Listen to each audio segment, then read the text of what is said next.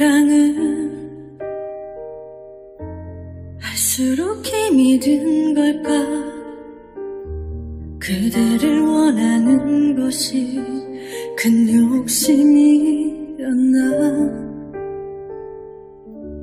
스치던 나에게